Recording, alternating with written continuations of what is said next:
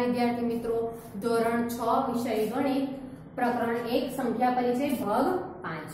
આપણે અગાઉના ભાગમાં આપણે લાખ, મિલિયન, કરોડ અને બિલિયન વિશેની માહિતી મેળવી, જેમાં અલ્પ વિરામની પણ માહિતી મેળવી કે ભારતીય સંખ્યા લેખન પ્રમાણે અને આંતરરાષ્ટ્રીય સંખ્યા લેખન પ્રમાણે કઈ રીતે આપણે એનું વાંચન અને લેખન કરી શકીએ છીએ તો હવે આપણે જોઈએ આપણું પાઠ્યપુસ્તકનું પાના નંબર બાર પર જેમાં આપણે જુદી જુદી માહિતી મેળવી શકીએ છીએ. જેમાં આપણે જોયું, ગયા ભાગમાં કે દસ મિલીમીટર બરાબર એક સેન્ટીમીટર એટલે કે સો સેમી બરાબર એક મીટર થાય અને એક હજાર મિલીમીટર બરાબર એક મીટર થાય છે. તો એવી જ રીતે અહીંયા આપણને એક પ્રશ્ન આપ્યો છે કે કેટલા સેન્ટીમીટર એક કિલોમીટર બનાવે છે? તો એક કિલોમીટર બરાબર એક કિલોમીટર બરાબર એક હજાર મીટર. જો આપણને આ રીતના જે જુદા જુદા સૂત્ર છે કે સો સેમી બરાબર એક મીટર થાય, બરાબર એક હજાર મીટર બરાબર કિલોમીટર થાય, તો આ રીતના આપણને સૂત્ર યાદ રહેશે? તો આપણને આ રીતના દાખલા જે છે, એ લખવામાં આપણને ખૂબ સરળતા પડે છે. તો એવી જ રીતે અહીંયા આપણને સેન્ટીમીટર પૂછ્યું છે કેટલા કિલોમીટર તો કે એક કિલોમીટર બરાબર એક હજાર મીટર થાય. તો એક મીટર બરાબર તો એક મીટર બરાબર સો સેમી એટલે કે સો સેન્ટીમીટર સો સેન્ટીમીટર તો એમ એક કિલોમીટર બરાબર આમ એક કિલોમીટર બરાબર એક હજાર મીટર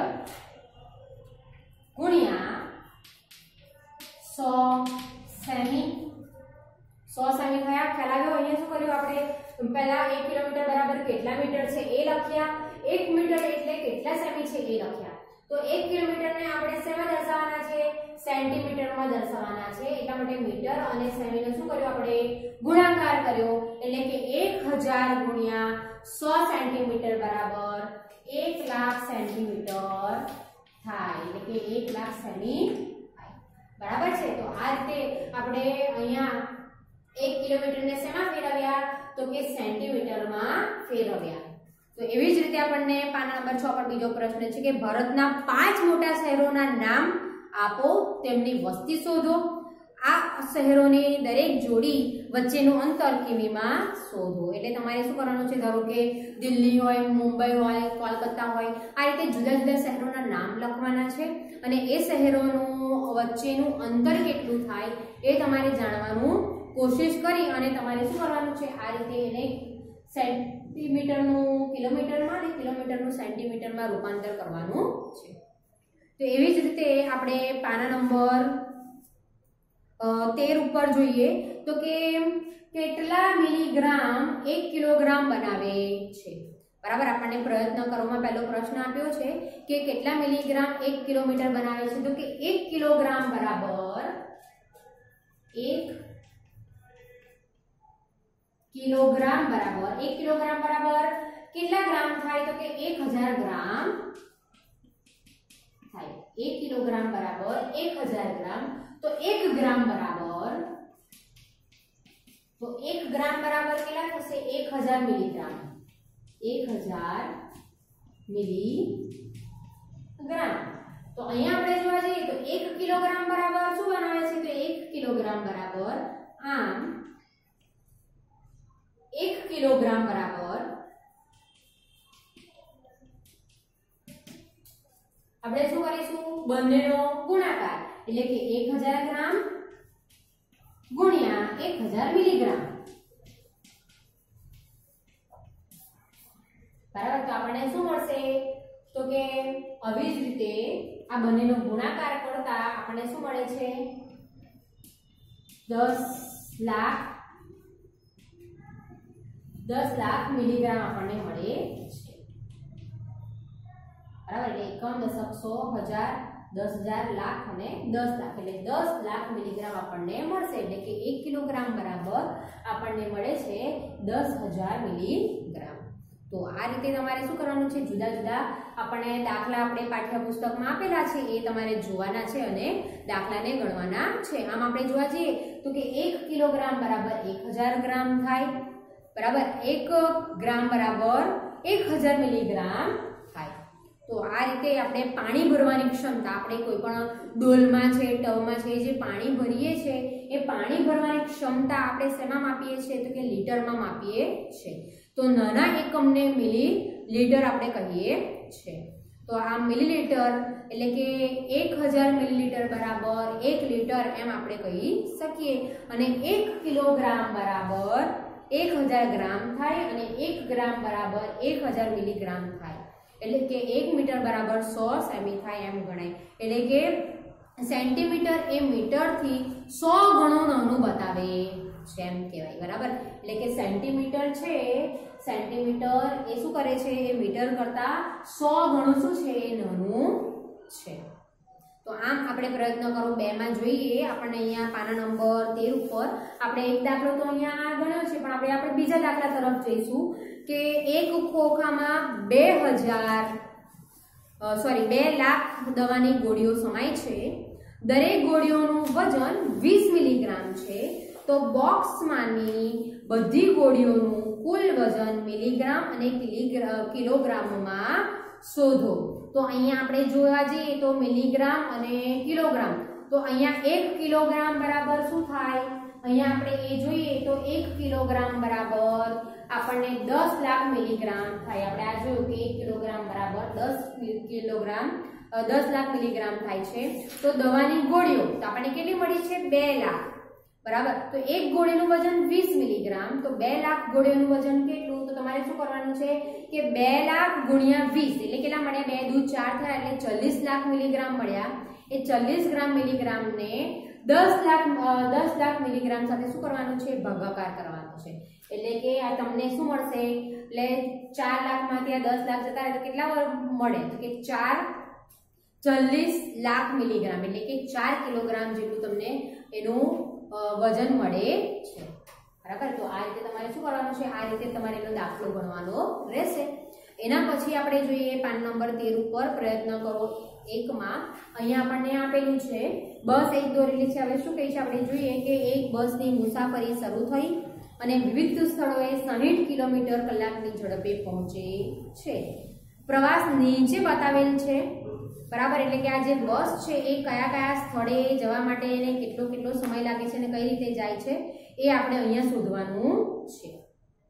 આમ આપણે જોવા જઈએ તો આપણને શું કહે છે, બસ દ્વારા એ થી ડી સુધી કપાયેલું કુલ અંતર શોધો. તો એ થી ડી સુધીનું અંતર આપણે શોધવાનું છે.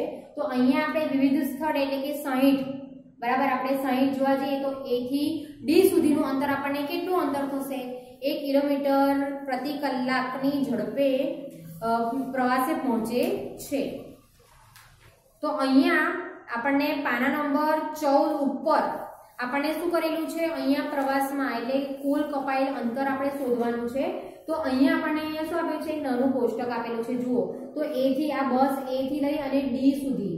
એટલે એકતાળીસો સિત્તેર, બી થી સી નું છે ચોત્રીસો દસ અને સી થી ડી નું છે એકવીસો સાહીઠ. તો શું કહે છે? બસ દ્વારા કપાતું કુલ અંતર શોધો. તો આપણે શું કરીશું? એ થી ડી સુધી પહેલો છે, તો કે એ થી બી નું અંતર, બરાબર? એ થી બી નું અંતર વત્તા બી થી સી નું અંતર વત્તા સી થી ડી નું અંતર. એનો શું કરવાનો છે તમારે? સરવાળો કરવાનો છે તો આમ એ થી બી નું અંતર મને કેટલું આપેલું છે? તો કે એકતાલીસો સિત્તેર. બી થી સી નું અંતર આપ્યું છે ચોત્રીસો દસ. અને સી થી ડી નું આપ્યું છે એકવીસો સાહીઠ. આ બધાનું શું કરવાનું છે? કુલ અંતર એટલે કે સરવાળો શૂન્ય, છ ને એક સાત સાત ને સાત, ચૌદ દુ ચાર બધી પડી એક. ચાર ને એક, પાંચ, છ ને સાત. ચાર ને ત્રણ, સાત ને બે, નવ. બરાબર? એટલે આપણને મળ્યા નવ હજાર સાતસો ને ચાલીસ કિમી શું થયું? એ થી ડી સુધીનું કપાયેલું અંતર એવી જ રીતે બીજો પ્રશ્ન છે, બસ દ્વારા ડી થી જી સુધીનું કપાયેલું અંતર.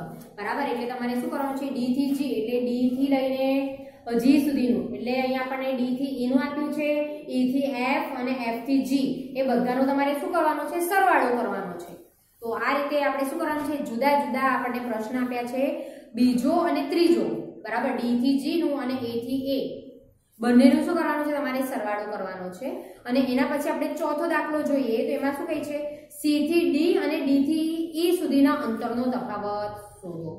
તો અહીંયા જોવા જઈએ, ચોથો દાખલો છે, તો કે ડી થી ઈ અને સી થી ડી. સી થી વચ્ચેના અંતરનો તફાવત શોધો. તો આપણે શું કરવાનું છે? ડી થી ઈ અને સી થી ડી સુધીને આપણે શું કરવાનું છે? બાદબાકી. તો અહીંયા આપણે જોવા જઈએ તો કે ડી થી ઈ ની સંખ્યા આપણને મોટી છે એટલે આપણે લખીએ 8140 તફાવત હંમેશા પૂછ્યો હોય તો બાદબાકી જ આવે. અને સી થી ડી નું અંતર આપ્યું છે 2160 આપણને અંતર આપેલું છે. તો આપણે અહીંયા શું કરીશું? શૂન્યમાંથી શૂન્ય જાય તો શૂન્ય. ચારમાંથી છ જશે નહીં, એટલે એકને કાપીને શૂન્ય, ચારને કાપીને ચૌદ. તો ચૌદમાંથી છ જાય તો વધ્યા કેટલા? આઠ. શૂન્યમાંથી એક જશે નહીં, આઠને કાપીને સાત, શૂન્યને કાપીને દસ. એટલે દસમાંથી એક જાય તો વધ્યા નવ, અને સાતમાંથી બે જાય તો વધ્યા પાંચ. બરાબર? એટલે આપણે સી થી ડી અને ડી થી ઈ વચ્ચે બંનેનો તફાવત અંતર કેટલો થયો આપણને? આટલો તફાવત આપણને મળે છે. તો આ જ રીતે તમારે શું કરવાનું છે? આપણને અહીંયા પાના નંબર ચૌદ ઉપર જોઈએ તો આ જ રીતે આપણને શું કરેલા છે? જુદા જુદા દાખલા આપેલા છે. રમણને દાખલા, આ તમારે કોષ્ટક વાંચી અને તમારે આ દાખલા શું કરવાનું છે? આ જ રીતે તમારે ગણવાના રહેશે. પાના નંબર ચૌદ ઉપર આપેલું છે. બરાબર? તો આ સાથે આપણે આ ભાગ પાંચ અહીંયા પૂર્ણ કરીએ છીએ.